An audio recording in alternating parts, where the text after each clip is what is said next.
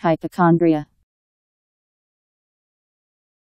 A psychological disorder characterized by excessive preoccupation or worry about having a serious illness. Category English plurals H Y P O C H O N D R I A Hypochondria